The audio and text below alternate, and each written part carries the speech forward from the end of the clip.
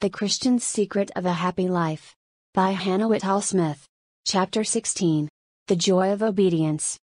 I remember reading once somewhere this sentence Perfect obedience would be perfect happiness, if only we had perfect confidence in the power we were obeying. I remember being struck with the saying, as the revelation of a possible, although hitherto undreamed of way of happiness, and often afterwards, through all the lawlessness and wilfulness of my life, did that saying recur to me as the vision of a rest, and yet of a possible development, that would soothe and at the same time satisfy all my yearnings. Need I say that this rest has been revealed to me now, not as a vision, but as a reality, and that I have seen in the Lord Jesus, the Master to whom we may all yield up our implicit obedience, and, taking his yoke upon us, may find our perfect rest? You little know, dear hesitating soul, of the joy you are missing. The Master has revealed himself to you, and is calling for your complete surrender, and you shrink and hesitate. A measure of surrender you are willing to make, and think indeed it is fit and proper you should. But an utter abandonment, without any reserves, seems to you too much to be asked for. You are afraid of it. It involves too much, you think, and is too great a task. To be measurably obedient you desire, to be perfectly obedient appalls you. And then, too, you see other souls who seem able to walk with easy consciences. In a far wider path than that which appears to be marked out for you, and you ask yourself why this need be. It seems strange, and perhaps hard to you, that you must do what they need not, and must leave undone what they have liberty to do. Ah! Dear Christian, this very difference between you is your privilege, though you do not yet know it. Your Lord says, He that hath my commandments, and keepeth them, he it is that loveth me, and he that loveth me shall be loved of my Father, and I will love him, and will manifest myself to him. You have his commandments, those you envy, have them not. You know the mind of your Lord about many things, in which, as yet, they are walking in darkness. Is not this a privilege? Is it a cause for regret that your soul is brought into such near and intimate relations with your Master, that he is able to tell you things which those who are further off may not know? Do you not realize what a tender degree of intimacy is implied in this? There are many relations in life which require from the different parties only very moderate degrees of devotion. We may have really pleasant friendships with one another, and yet spend a large part of our lives in separate interests, and widely differing pursuits.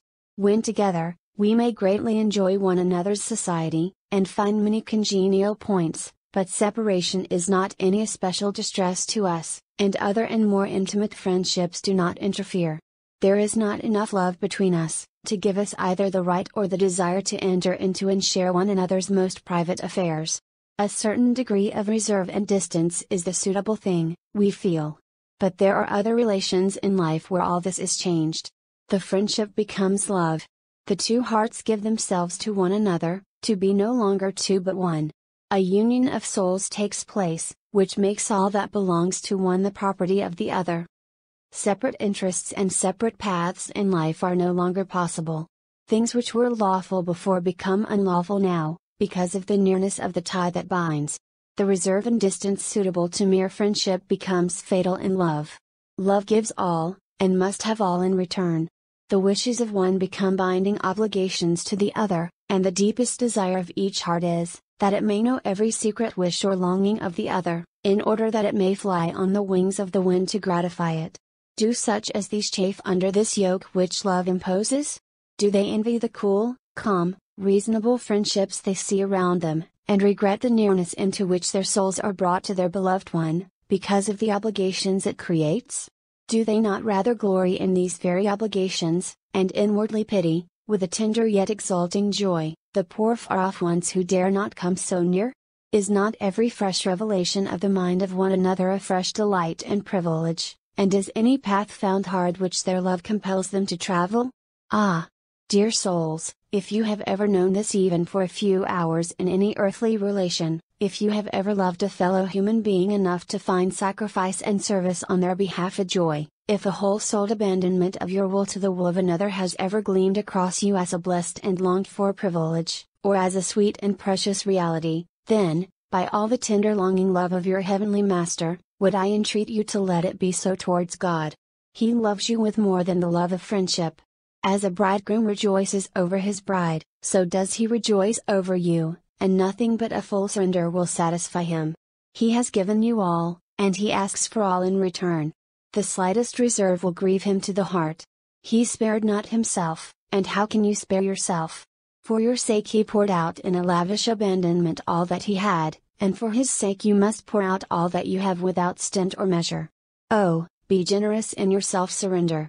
Meet his measureless devotion for you, with a measureless devotion to him.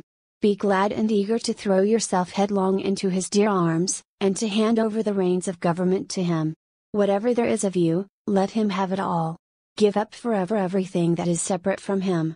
Consent to resign from this time forward all liberty of choice, and glory in the blessed nearness of union which makes this enthusiasm of devotedness not only possible but necessary.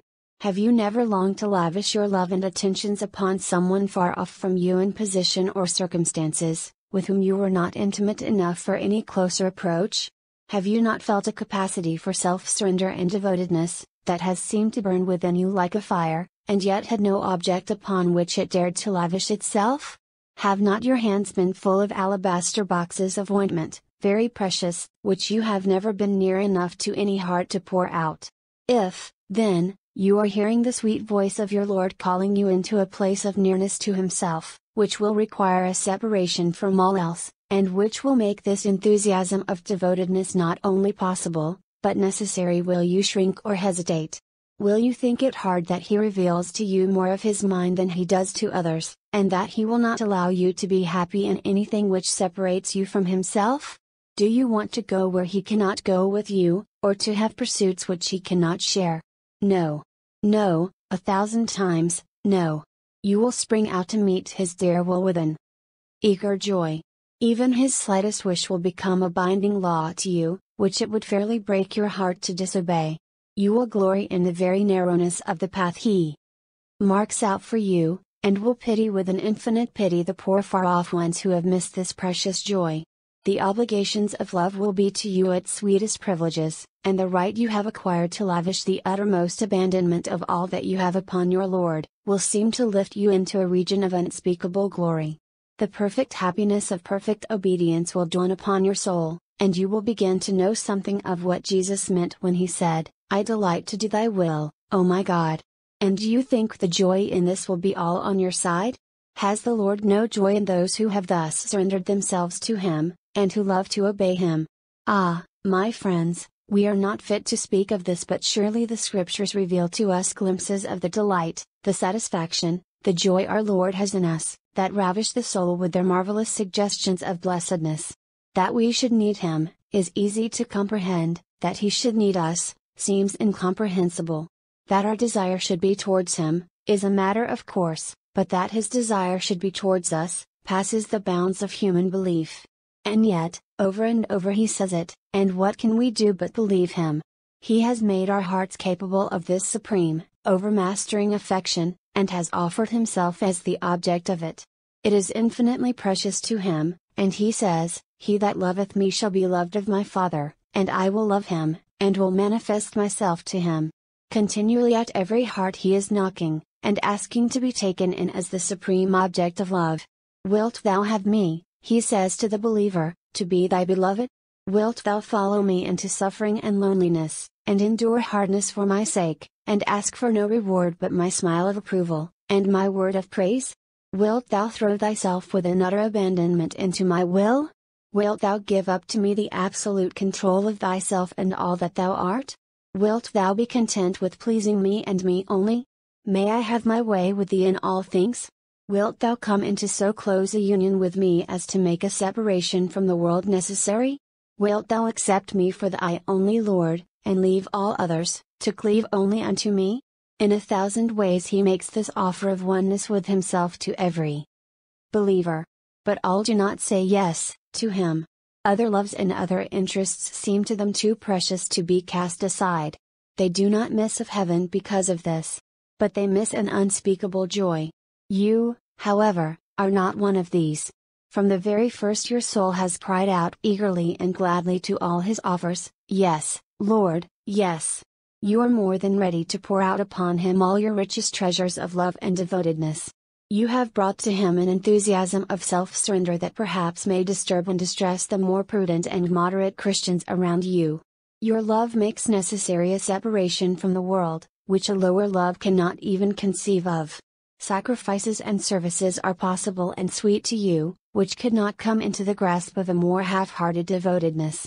The life upon which you have entered gives you the right to a lavish outpouring of your all upon your beloved one. Services, of which more distant souls know nothing, become now your sweetest privilege. Your Lord claims from you, because of your union with Him, far more than He claims of them. What to them is lawful, love has made unlawful for you. To you He can make known His secrets, and to you He looks for an instant response to every requirement of His love. Oh, it is wonderful! The glorious, unspeakable privilege upon which you have entered, how little it will matter to you if men shall hate you, or shall separate you from their company, and shall reproach you and cast out your name as evil for his dear sake. You may well rejoice in that day and leap for joy, for behold your reward is great in heaven, and if you are a partaker of his suffering, you shall be also of his glory. In you he is seeing of the travail of his soul, and is satisfied.